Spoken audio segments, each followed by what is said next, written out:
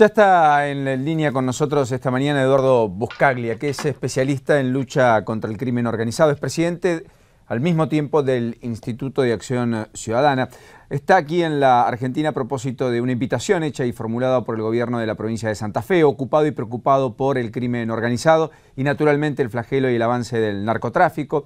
Ha participado en algún panel junto a Sergio Massa sobre la cuestión de derechos humanos y ha hecho algunas eh, entrevistas o alguna entrevista periodística que ha dejado mucha tela para cortar y sobre eso y otros temas eh, queríamos hablar con él. ¿Qué tal, Buscaglia? Paulino Rodríguez lo saluda. Eh, muy buen día, ¿cómo le va? Buen día, ¿cómo estás? Eh, buen día. Gracias por este ratito. bueno, usted ha definido a la Argentina como un país con una democracia muy débil, sin democracia plena, hace alusión a la falta de controles en la Argentina, patrimoniales, control judicial, etcétera inclusive ha ido más lejos y habla de vacíos del Estado muy profundos que han sido cooptados en muchos de los casos por el narcotráfico y el crimen organizado y que en este andarivel de tránsito en el que está la Argentina, lo que queda al final del camino es convertirnos en México, más temprano que tarde. Podemos evitarlo, pero hay que actuar ahora.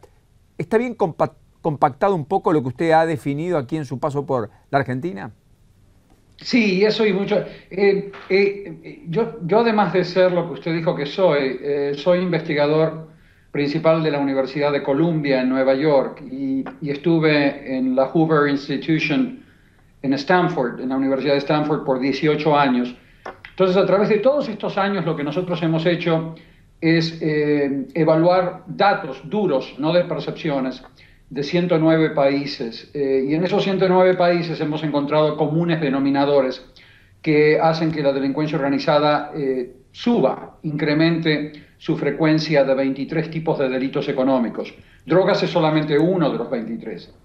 Eh, tenés además compra-venta de seres humanos, tráfico de órganos, extorsiones, tráfico de armas, y otra amplia gama de delitos. Y en la Argentina todos esos delitos económicos han venido aumentando en los últimos 12 años, eh, lamentablemente.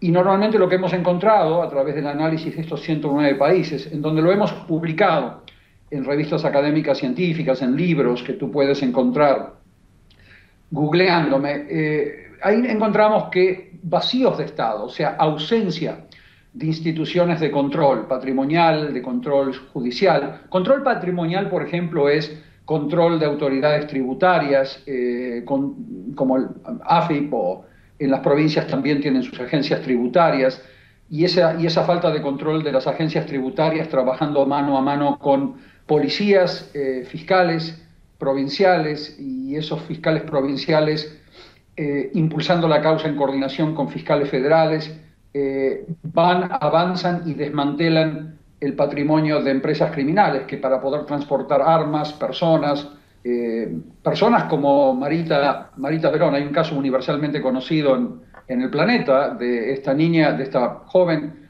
que desapareció, ¿te acuerdas? En el 2002. Sí, claro. Eh, la hija de Susana Trimarco, la señora que... Bueno, hay miles y miles y miles y miles y miles de casos como ella. Para transportar a esas víctimas se necesitan camiones, calpones de almacenamiento, se necesitan aviones, se necesitan eh, otras empresas esperando a estas víctimas en los países donde son eh, vendidas, eh, lamentablemente. Entonces son empresas, son redes empresariales que hay que desmantelar y no lo hace solamente enviando a la cárcel a, a las personas. Entonces, lo que tenés que hacer es tener eh, una orquesta sinfónica de eh, fiscalías provinciales y federales trabajando juntas. Policía Federal, la División de Inteligencia Criminal de la Policía Criminal, tiene que trabajar junto con la Policía Especializada de Santa Fe, de la mano, en la misma mesa. No, esto no es abracitos entre el gobernador y la presidenta, tiene que ser algo operativo. La Unidad de Inteligencia Financiera tiene que dejar de pelearse con el AFIP y trabajar y aportar datos y darle acceso a los datos de la base de la UIF a, la AFIP y a las autoridades provinciales. Eh, los registros de catastros de las provincias tienen que estar vinculados entre sí. Hoy están fragmentados y las bases de datos de Santa Fe no pueden ser eh, eh, accedidas por otras provincias. O sea, yo siempre digo que ante, ante la delincuencia organizada que yo describía, tenés que enfrentarla con un Estado organizado. Si el Estado está desorganizado, como el argentino, eh, no podés enfrentar y contener a la delincuencia organizada. Entonces tenés un Estado desorganizado que brilla por sus vacíos de, eh, Estado. Por ejemplo, en, las provincias no existen unidades de investigación patrimonial no financieras para identificar casas, campos, galpones de almacenamiento, activos no financieros que están siendo usados para asesinar a ciudadanos argentinos. No existen, hay, un vacío de Estado. No hay una ley de extinción de dominio no penal, no lavado de dinero. La ley de lavado de dinero es una ley penal, en donde el Estado tiene que probar, más allá de una duda razonable, eh, que tú eres culpable. Eh, la extinción de dominio es una ley que permite sacarle los bienes a los delincuentes sin necesidad de una acción penal. Es como una causa civil, en donde la carga de la prueba para el Estado es mucho menor. Entonces, eso es un vacío de Estado. Entonces, en los países donde hay muchos vacíos de Estado, como los que te mencioné, y en la Argentina hay 17 vacíos de Estado, y te acabo de mencionar dos, normalmente la delincuencia organizada eh, llega con más frecuencia y establece una cabeza de playa con más frecuencia en esos países y comienzan a existir más delitos como los que tú estás viendo en la Argentina. Esa es un poco la conclusión de nuestros trabajos eh, académicos de los últimos 20 años. Ahora, yo no soy solo académico, en estos equipos de levantamiento de datos tenemos a fiscales. Yo he trabajado en el pasado con el fiscal Carlos Castresana, que formó parte de mi equipo, que fue el que impulsó la causa Pinochet. Trabajé también con Baltasar Garzón cuando hace años, cuando él me acompañó a Indonesia, donde levantamos datos en ese momento, en el año 2002-2003 con Baltasar. Me, me acompañaron jueces, fiscales, policías y ahora el gobierno de Santa Fe me invitó a hacer lo mismo en su territorio, lo que expresa una buena fe, porque nos dejaron entrar y nos abrieron todos los casos, nos abrieron las puertas de todas las instituciones, le entramos al intestino grueso y delgado de la, de la provincia, vimos cómo estaban procesando las policías presuntamente vinculadas a grupos criminales, eh, y eso habla muy bien de Santa Fe. Pero en la mesa de trabajo que yo te mencionaba, de coordinación entre policías, fiscales, y eh, autoridades tributarias, brillaba por su ausencia eh, el gobierno federal. El gobierno federal se niega a cooperar con las provincias para poder desmantelar a estos grupos criminales, o por lo menos no se les deja acceder a, las autoridades provinciales, a las bases de datos de AFIP, eh, a las bases de datos de la UIF. aduanas no coopera con las autoridades provinciales en, en una provincia donde existen decenas de puertos eh, privatizados a través de concesiones, que son el caldo de cultivo para que la delincuencia organizada use los puertos para exportar e importar a personas, a drogas, a armas. Entonces, eh, el, gobierno federal, por negligencia o por premeditación, no sé, eh, brilla por su ausencia y esta negligencia o premeditación se está pagando con vidas humanas. Entonces, ese es un poco el diagnóstico de delincuencia organizada, la falta de coordinación y los vacíos de Estado han creado un paraíso patrimonial para grupos criminales. Ahora, cuando tú hablabas de democracia, la democracia no se agota en una elección. La, competencia electoral, por más que no exista fraude, eh, es una condición necesaria, pero no suficiente para que exista una democracia. Eh, Argentina comenzó a transitar hacia una democracia eh, con la llegada del presidente Alfonsín al poder en buena hora, y, eso fue el comienzo de una transición pero eh, toda democracia necesita, para que realmente lo sea, para que los ciudadanos puedan traducir su voluntad en acciones de gobierno, porque mi voluntad no se agota en un voto, después quiero vigilar que ese voto se traduzca en acciones de gobierno, en acciones compatibles con, mis, con mi voluntad como, como votante. Eh, eh, ese proceso de traducción de preferencias de los ciudadanos en acciones de gobierno necesita de controles. Tenés que ser capaz de controlar a los funcionarios que ejercen el poder en esos gobiernos. Y lamentablemente los controles en Argentina están colapsados. Controles judiciales, controles patrimoniales, controles de la corrupción política y controles de prevención social de la delincuencia están colapsados. Y sin controles no hay democracia. No lo digo solamente yo, eh, esto es una conclusión universal de politólogos como Francis Fukuyama, que lo ha argumentado en sus libros. Hay muchos autores que dicen, si tú no tienes Estado de Derecho, si no tienes controles institucionales operando en un país, no puede existir una democracia. Habrá competencia electoral, pero competencia electoral es una condición necesaria, pero no suficiente para que tus voluntades como ciudadano se traduzcan en acciones de gobierno y que tú puedas vigilar a ese gobierno para que esas acciones se implementen sin corrupción, sin abuso de discrecionalidad.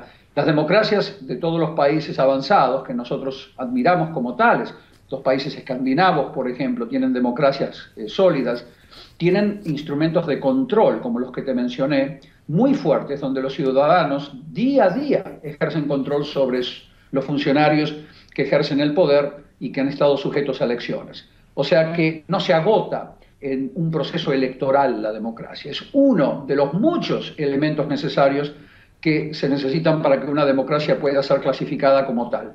Mientras tanto, Argentina va a seguir clasificada como una democracia en transición, pero todavía no lo es, eh, le falta todavía, es muy adolescente. a los jueces se los amenaza o se los premia de acuerdo a su lealtad a los gobiernos, eh, se, los, eh, se hostiga a los fiscales, como te dije antes, las unidades de investigación patrimonial no existen, por lo tanto, los financiamientos de campaña política eh, están sujetos a que cualquier señor o señora con eh, dineros ilícitos, de origen ilícito, puedan venir y contribuir a campañas políticas. Y casos como este van a surgir en el, futuro cuando comiencen a investigarse cómo se financiaron campañas políticas en este y en pasados gobiernos. Y como en, otro, como en muchos otros casos, como el de Colombia, como el de México, surgen causas penales que después comienzan a involucrar a políticos con grupos criminales. Entonces necesitamos controles para que las democracias puedan desarrollarse. Necesitamos un Estado de Derecho para que las democracias puedan llamarse democracias. Entonces, lamentablemente, Argentina todavía no ha llegado a ese punto. Espero haber sido claro. Sí, absolutamente, eh, Edgardo. Dos o tres preguntas se me ocurren. La primera, la falta de control fronterizo, la falta de una ley de derribo, eventualmente radares en frontera, etcétera, que es uno de los temas habitualmente expuestos aquí en la Argentina cada vez que se hable del narcotráfico y demás. Eh, ¿Es algo que efectivamente Argentina tiene como pasivo o no necesariamente es ese el andarivel a transitar? Mira, los supuestos expertos en seguridad en la Argentina eh, básicamente son eh, asesores de empresas, eh, porque se comportan como tales. Te comienzan a contar que la manera de frenar a la delincuencia organizada es tener radares en la frontera.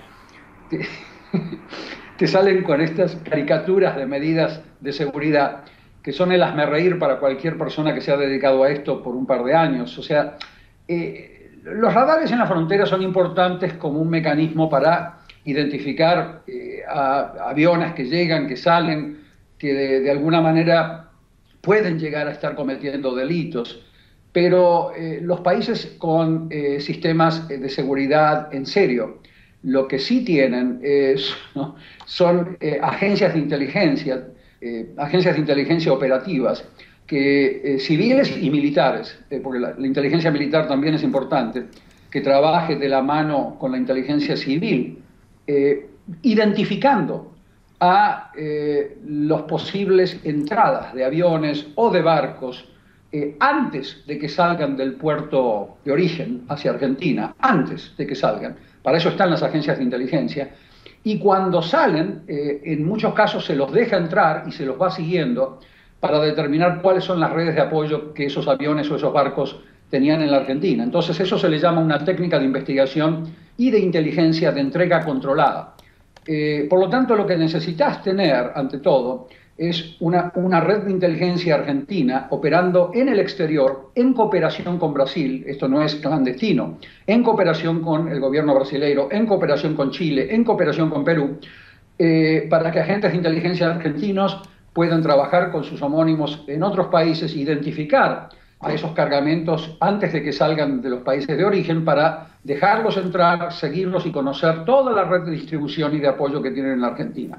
Con radares no vas a frenarlos. Eh, ¿Entiendes lo que te estoy diciendo? Sí, sí. Eh, lamentablemente los expertos, entre comillas, en seguridad argentinos son, como en México, eh, agentes de las empresas de seguridad privadas, que después cuando tú ves los libros que ellos escriben acá en la Argentina, cada punto que ellos proponen, mejores carros para la policía, mejores radares, mejor, Cada uno de esos puntos son contratos de millones y millones de dólares para empresas privadas de seguridad que después van a venir a la Argentina a venderle esos servicios al eh, gobierno argentino. Pero no son medidas de seguridad sostenibles. Claro que necesitamos mejores carros, autos para la policía. Claro que necesitamos radares, pero no con eso vas a frenar al cartel de Sinaloa para que siga enviando drogas a la Argentina o siga produciendo drogas en la Argentina y exportándolas afuera. No vas a frenar ese proceso con radares ni con carros de policía, ni con mejores armas.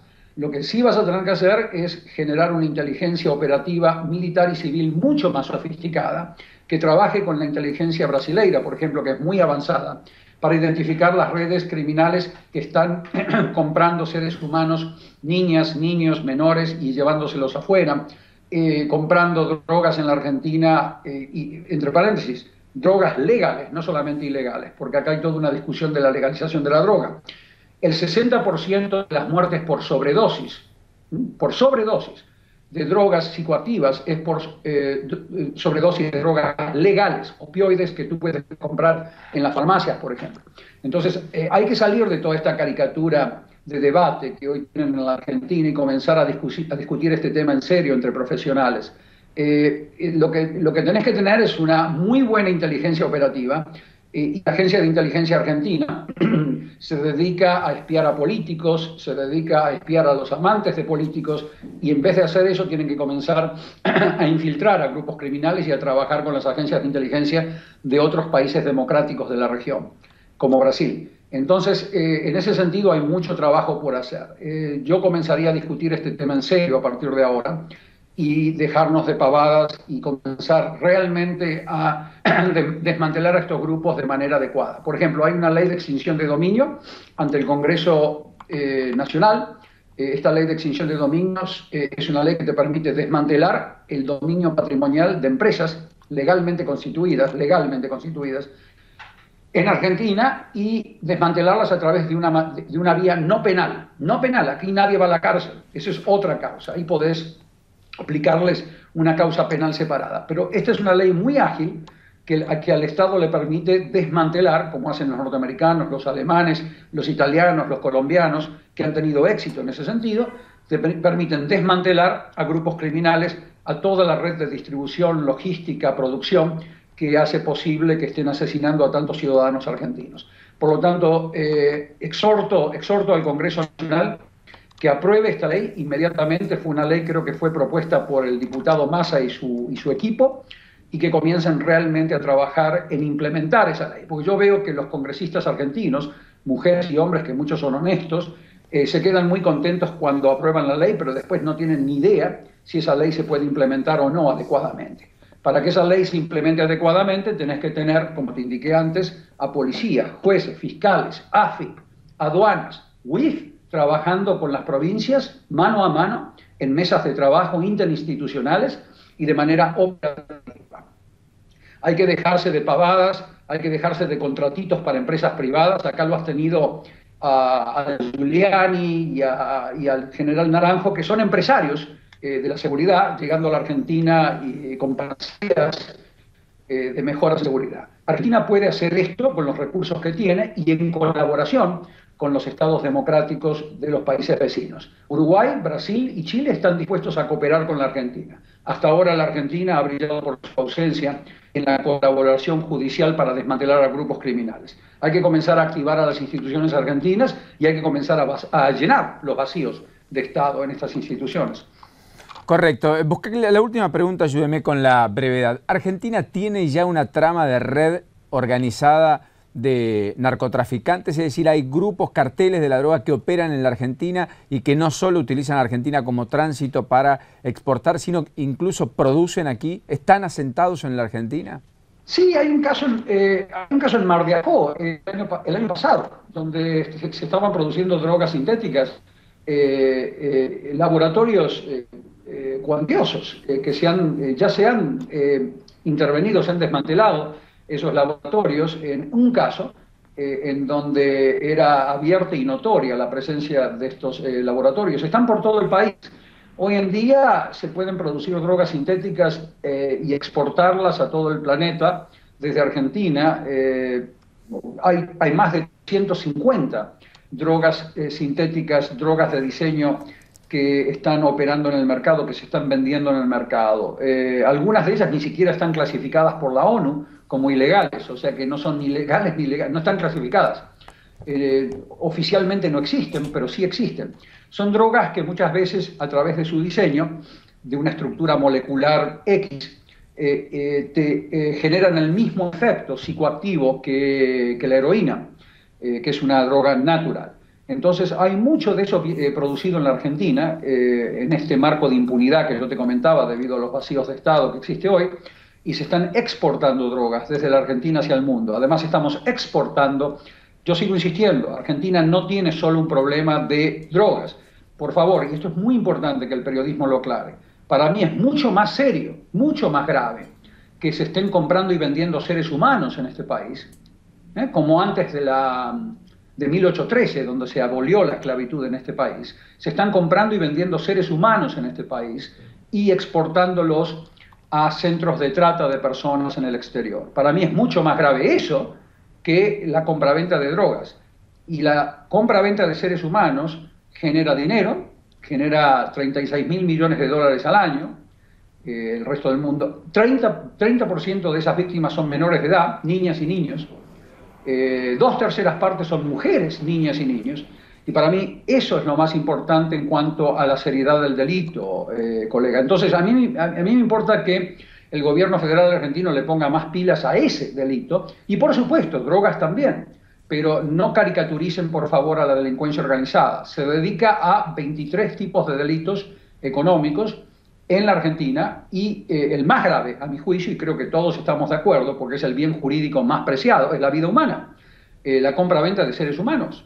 Entonces, eh, quiero llevar esto a la palestra porque la presidenta de la República ha manifestado su prioridad, ella ha dicho, en atacar la compra-venta de mujeres, niñas y niños. Bueno, quiero ver eso en los hechos, no solamente en los discursos.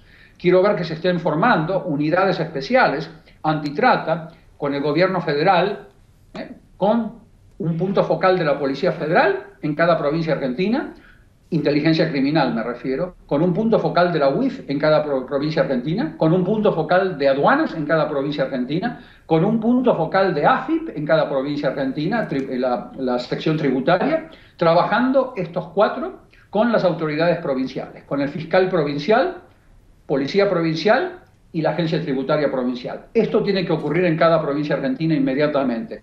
No, ustedes no necesitan a generales naranjos ni a Giulianis para hacer eso. Eso es un show de simulación, si están esperando. Tienen que ya comenzar. Si la presidenta realmente quiere hacer esto en serio, que establezca unidades antitrata ya mismo en la provincia de Tucumán, Santiago de Estero, junto con las autoridades provinciales, porque si bien los federales tienen eh, competencias sobre el ámbito financiero, no se olviden que hay mucha actividad económica criminal en los mercados no financieros.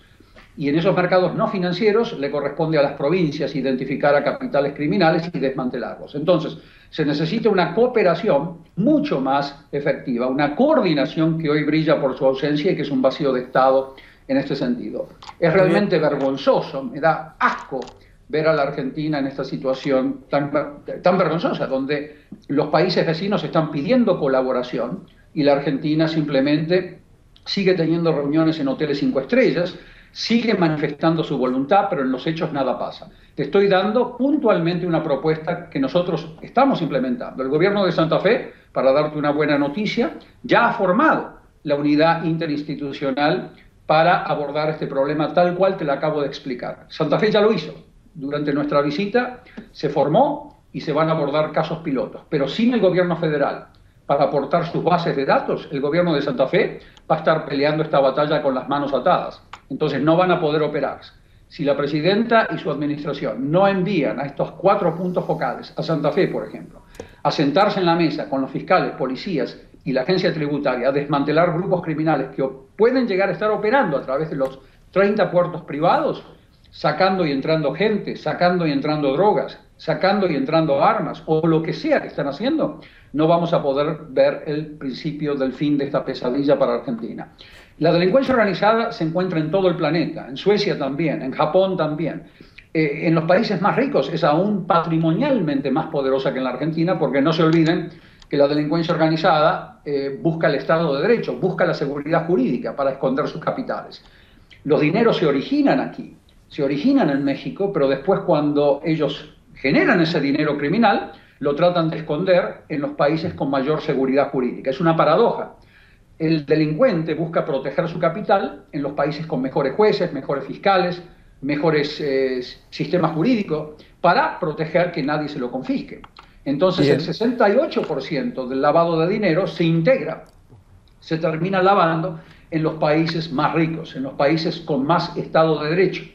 Pero el delito se origina en los países como Argentina, donde hay más impunidad, donde hay más personas pobres que se pueden comprar y vender, ¿eh? como te decía antes.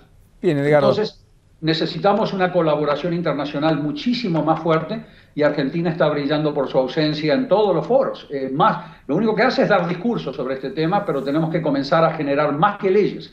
La ley antilavado está muy bien que la hayan mejorado, pero es una ley que no se va a poder implementar si tienes los vacíos de Estado que te acabo de mencionar.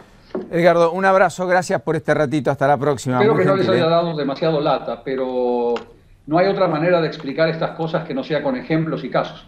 Definitivamente, un abrazo y gracias eh, por este ratito. Gracias. Eh, Edgardo Buscaglia, especialista en la lucha contra el crimen organizado, presidente del Instituto Acción Ciudadana, que anda aquí por la Argentina, pasado por Santa Fe, este, y estaba dando allí las perspectivas respecto al crimen organizado y las distintas visiones sobre la materia. Entérate antes. Baja la aplicación de Infobae.